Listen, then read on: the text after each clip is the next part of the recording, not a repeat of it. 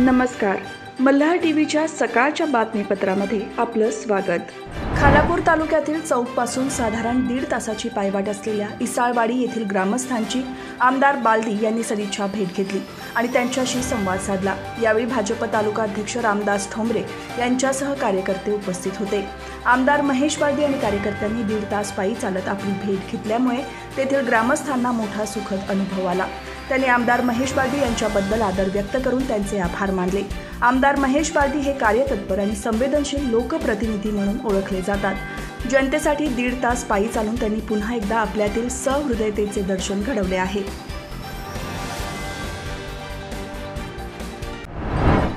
नवरात्रीत विश्रांती घेतलेल्या पावसाने गुरुवारी रायगड जिल्ह्यात अचानक हजेरी लावली. या पावसाचा जोर प्रामुख्याने जिल्ह्याच्या उत्तर भागात होता. परतीच्या पाऊसधारा बरसल्यामुळे वातावरणात गारवा निर्माण होऊन उष्म्याने हैराण झालेल्या जनतेला दिलासा मिळाला. मात्र फुलोरा धरण्याच्या अवस्थेत असलेल्या भात पिकाला काही प्रमाणात फटका बसण्याची शक्यता शेतकऱ्यांनी व्यक्त केली. तर काही शेतकऱ्यांनी तयार झालेल्या भात पिकाची कापणी केली असल्याने ते भिजून गेले आहेत आणि त्यामुळेही शेतकरी हवालदिल झाला आहे. दरम्यान चीन समुद्रातील नोरू वादळामुळे बंगालच्या उपसागरात कमी दाबाचे क्षेत्र तयार झाले असून वादळी वारे वाहत आहेत. त्यामुळे आर्द्रता वाढल्याने पाऊस पडत आहे. हा पाऊस ऑक्टोबरच्या मध्यापर्यंत कायम राहण्याची शक्यता हवामान खात्याने व्यक्त केली आहे. विजयादशमीनिमित्त सीमोल्लंघन करण्याची हिंदू धर्मात परंपरा आहे. या परंपरेला अनुसरून दरवर्षी राष्ट्रीय स्वयंसेवक संघातर्फे पथसंचलन केले जाते. एकोणीसशे पंचवीस साली दसऱ्याच्याच दिवशी संघाची स्थापना झाली होती. त्यामुळे संघामध्ये दसऱ्याच्या पथसंचलनाला विशेष महत्त्व असते. गेली दोन वर्षे कोरोना निर्बंधामुळे पथसंचलन झाले नव्हते. त्यामुळे यंदा संघ स्वयंसेवकांमध्ये वेगळाच उत्साह होता. अतिशय शिस्तबद्ध आणि दिमागदार असे संचलन पनवेलकरांना अनुभवायला मिळाले. रचना आणि प्रार्थना करून शहर पोलीस ठाण्यापासून संचलन सुरू झाले. बँड पथक ध्वजदंडासह करंजाडेपासून ठाणा नाका एवढ्या भागातील गणवेशातील शंभर ते सव्वाशे स्वयंसेवकांचे हे संचलन एचओसी कॉलनी कफनगर सावरकर पुतळा अशा मार्गाने गेले. वाटेत ठिकठिकाणी ध्वजासह स्वयंसेवकांवर लोकांनी पुष्पवृष्टी केली.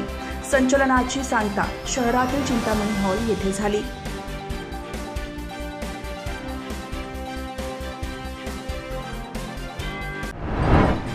ऐन दसऱ्याच्या दिवशी पहाटेच मुंबईतील बांद्रे वळेरी सी लिंकवर चार गाड्या आणि रुग्णवाहिकेचा भीषण अपघात झाला होता. ज्या गाडीमुळे या अपघातांची मालिका घडली तिच्या चालकाला पोलिसांनी अटक केली आहे.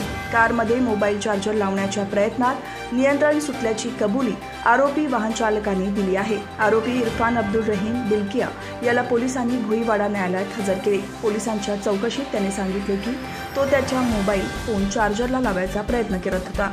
तो समोरच्या रस्त्यावरील दृश्य नजरेआड झाले.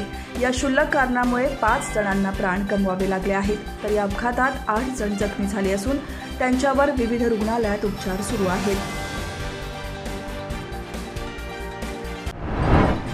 बेलापूरच्या आमदार मंदाताई म्हात्रे यांनी नवी मुंबईच्या विकास आराखड्यासंदर्भात नवी मुंबई महापालिका आयुक्त राजेश नार्वेकर यांची भेट घेतली. यावेळी नवी मुंबईतील प्रत्येक गावाला स्वतंत्र मैदान उपलब्ध व्हावे नवी मुंबईतील पूर्ण झालेल्या कामांची लोकार्पण करणे महापालिकांची हॉस्पिटले पूर्णपणे सुविधांनी सुरू करणे ज्वेल ऑफ नवी मुंबई येथे भगवान गौतम बुद्ध यांचा पुतळा उभारणे नवी मुंबईतील सुखसोयी सुविधांवर जास्तीत जास्त भर देण्यात यावा अशा विविध विषयांवरही चर्चा करण्यात आली. यावेळी भाजपचे जिल्हाध्यक्ष रामचंद्र खरत महामंत्री डॉक्टर राजेश पाटील विजय घाटे माजी सभापती संपत शेवाळे यांच्यासह मान्यवर उपस्थित होते.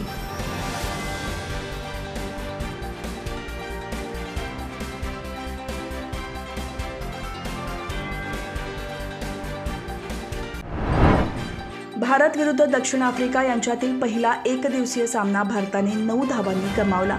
पण संजूनं मात्र सर्वांचीच मनं जिंकली. संजूने नाबाद शहाऐंशी धावांची एक हाती झुंज दिली. पण योग्य वेळी त्याला योग्य साथ मिळाली नाही आणि अवघ्या नऊ धावांनी भारताने सामना गमावला. पावसाच्या व्यत्ययामुळे सामना प्रत्येकी संघासाठी चाळीस षटकांचा केला होता. दक्षिण आफ्रिकेने प्रथम फलंदाजी करत दोनशे एकोणपन्नास धावा स्कोर बोर्डवर लावल्या ज्यामुळे भारताला विजयासाठी अडीचशे धावा करायच्या होत्या. पण भारत चाळीस षटकांमध्ये दोनशे चाळीस धावाच करू शकला आणि भारताने सामना नऊ धावांनी गमावला.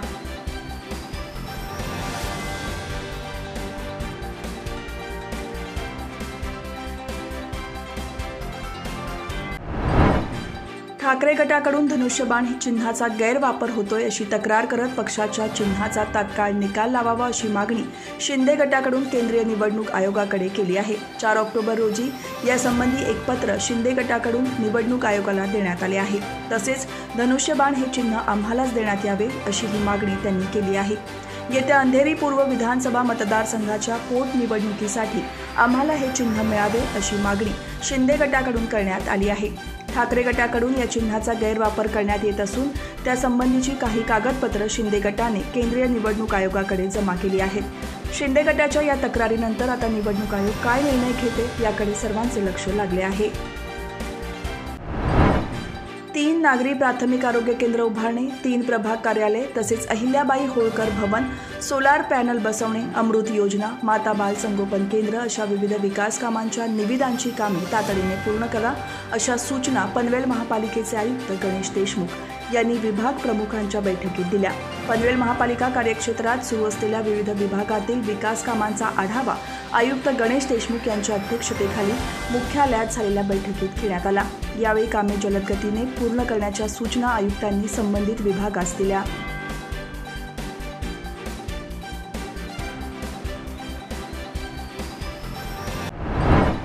डॉक्टर बाबासाहेब आंबेडकरांनी दसऱ्याच्या दिवशी नागपूर येथे लाखो अनुयायांसह बौद्ध धम्माची शिक्षा घेतली.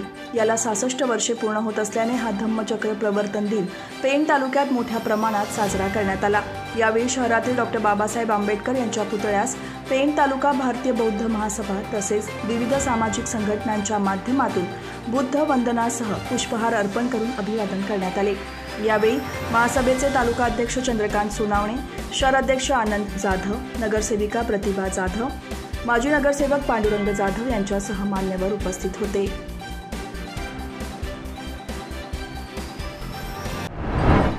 खरी शिवसेना कोणाची हे शिंदेंच्या दसरा मेळाव्यातील गर्दीने दाखवून दिली असल्याची प्रतिक्रिया राज्याचे उपमुख्यमंत्री देवेंद्र फडणवीस यांनी व्यक्त केली.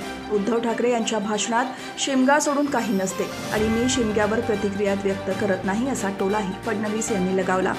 उपमुख्यमंत्री देवेंद्र फडणवीस यांनी पुण्यात माध्यमांशी संवाद साधला. यावेळी त्यांनी म्हटले की नागपूरमध्ये असल्याने मी दोन्ही भाषणे ऐकलेली नाहीत पण मी भाषणांचा थोडा थोडा सारांश ऐकला आहे.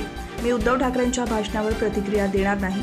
वांद्रे कुर्ला संकुलातील मैदानाची क्षमता ही शिवाजी पार्क मैदानाच्या दुप्पट आहे. एकनाथ शिंदे यांनी खरी शिवसेना कोणाची आहे हे दाखवून दिले असल्याचे उपमुख्यमंत्री फडणवीस यांनी सांगितले. मुख्यमंत्री एकनाथ शिंदेजी यांचं अभिनंदन करेल. काल त्यांनी हे दाखवून दिलं ही शिवसेना कोणती. या प्रमाणात लोक सीच्या मैदानावर पाहायला मिळाले.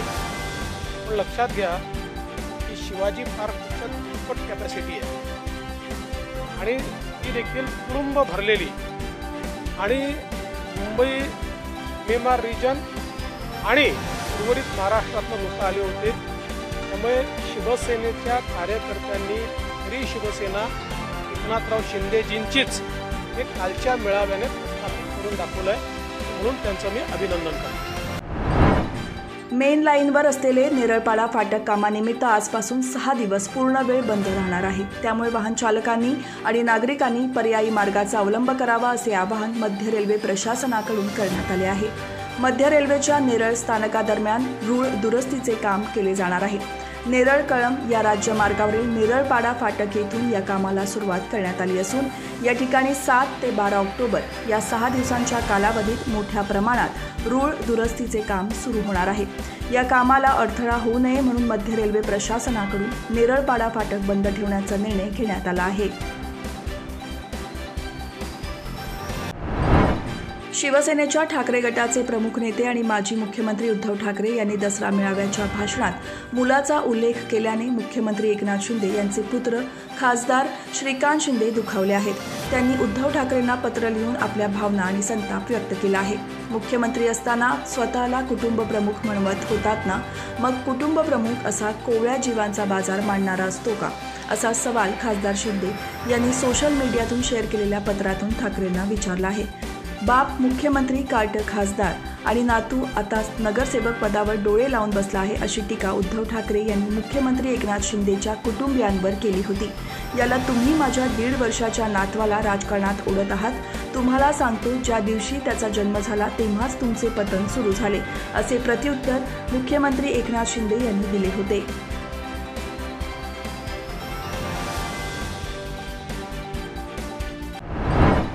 जनार्दन भगत शिक्षण प्रसारक संस्थेची बत्तीसावी वार्षिक सर्वसाधारण नुकतीच झाली. सीकेटी महाविद्यालय झालेल्या या सभेत सीकेटी मराठी प्राथमिक विद्यालयाचे मुख्याध्यापक सुभाष मानकर यांना संस्थेचे चेअरमॅन माजी खासदार लोकनेते रामशेठ ठाकूर यांच्या हस्ते सन्मानपत्र देऊन गौरवण्यात आले. मानकर यांनी गड किल्ल्यांच्या संवर्धनासाठी अनेक संघटनांबरोबर काम केले असून ते गड किल्ल्यांची माहिती सोशल मीडियाच्या माध्यमातून जनतेपर्यंत पोहोचवण्याचे काम करत आहेत. आजपर्यंत पंच्याऐंशी किल्ल्यांचा ट्रेक यशस्वीरित्या पूर्ण केले आहेत. तसेच जिल्हा स्तरावर रायगड जिल्हा खासगी शाळा कर्मचारी संघटनेच्या वतीने दिला जाणारा संघटना भूषण पुरस्कार देऊन गौरवण्यात आले आहे. त्यांच्या या कार्याबद्दल त्यांचा गौरव करण्यात आला.